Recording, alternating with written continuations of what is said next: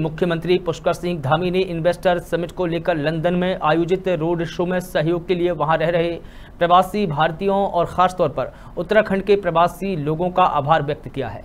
मुख्यमंत्री इस बात पर खुशी ज़ाहिर की है कि विदेश में रहकर भी अपनी संस्कृति से जुड़े हुए हैं। अपनी मेहनत से उत्तराखंड के प्रवासी भाइयों ने अपना खास मुकाम बनाया है। मुख्यमंत्री पुष्कर सिंह धामी ने यह भी कहा कि जिस अपनत्व भाव से उनका स्वागत किया गया है, उससे वो अभिभूत है भाव विभोर है। आज प्रधानमंत्री नरेंद्र मोदी मोदी की लीडरशिप में विश्व के सभी देशों में रह रहे भारतीयों में गौरव की भावना बढ़ी है। मुख्यमंत्री ने कहा कि विदेशों में रह रहे उत्तराखंड के प्रवासी भाई बहन उत्तराखंड के ब्रांड एम्बेसडर है। लंदन भ्रमण बहुत ही सफल रहा, निवेशकों से उत्साहवर्धक बात भी हुई है। निवेश पर महत्वपूर्ण एमओयू साइन किया गया है। देहरादून से ब्यूरो चीफ अवनीश गुप्ता की रिपोर्ट।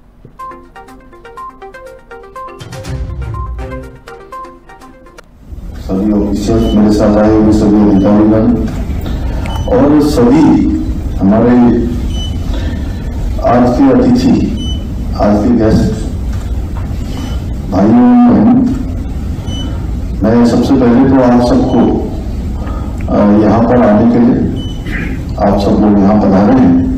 मैं अपनी ओर से आप सभी का स्वागत करता हूँ, अभिनंदन करता हूँ और सारे जी समेत बहुत सारे लोगों ने यहाँ पर आज अपने अनुभव भी यहाँ पर साझा किए हैं कि उत्तराखंड के अंदर किस प्रकार से